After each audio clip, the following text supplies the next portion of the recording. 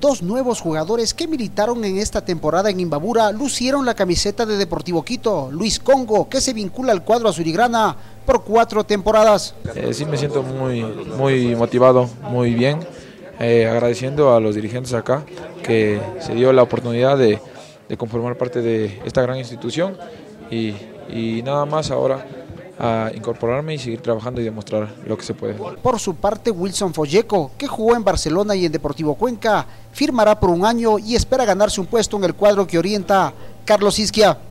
La verdad, eh, para mí es muy, eh, me llena de satisfacción, me llena de, de ilusión de, de, hacer las cosas bien, de, de trabajar bien, de hacer un, un excelente año y, y conseguir cosas importantes. ¿Conscientes que hay que ganarse el puesto un equipo con tantas alternativas? Sí, yo pienso que hay muy buenos jugadores, muy buenos compañeros.